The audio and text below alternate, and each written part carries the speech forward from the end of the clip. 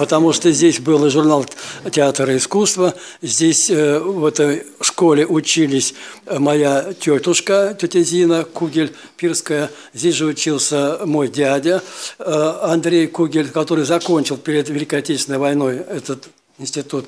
Ну, здесь учился мой сын, поэтому и работал другой сын. Так что э, это место для меня и теплое, и родное. А что касается Кугелей, то они здесь недалеко снимали э, квартиру, и там как раз помещался их журнал, редакция журнала. Э, ну, так получилось, что я свою дедушку не застал, э, своего лично, э, Иона Рафаиловича, потому что он умер в блокаду, и рядом с ним умерла как раз его сын Андрей, режиссер, закончивший нашу школу. Так что в конце концов получилось так, что я сам сюда как-то пришел, но, правда, по воле Волынки Николая Михайловича. Я ему очень благодарен, он сделал круг такой в моей биографии. Первый раз я вышел на сцену в 1945 году, 9 мая, э, спел песню там перед солдатами, а потом Николай Михайлович сказал, что давай иди сюда, потому что ты к этому годишься. Вот так вот. Э, ну, из педагогов я благодарен многим, с которыми я начал работать.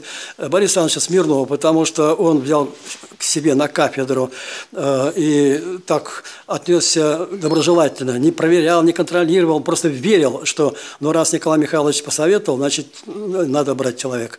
Вот. А потом из коллег, конечно, Лена Викторовна Киреева, замечательный, замечательный специалист, особенно в области камушков, платьев, каких-то еще модных таких украшений. Ну, здорово она это все знала и доверяла даже кое-что посмотреть в ее коллекции. Ну, а э, вообще, э, так вот, среди людей, Костелянец мне очень нравился, как человек взрослый, прошедший войну. Вообще у меня к тем, кто прошел войну, особое отношение.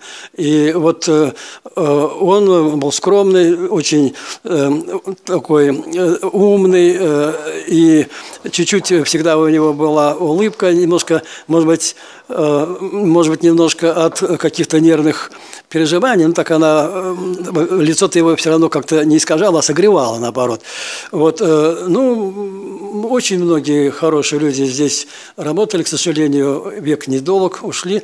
А с теми, с кем я сейчас работаю, тоже у меня очень хорошие отношения. Я э, уважаю таланты каждого. Э, иногда читаю чьи-то статьи и восхищаюсь, думаю, как они много знают, ничего себе, как они много знают.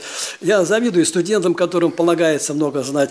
Ну, а в своей области тут тоже приходится совершенствоваться, потому что выставка, скажем, буддизма, надо читать про буддизм.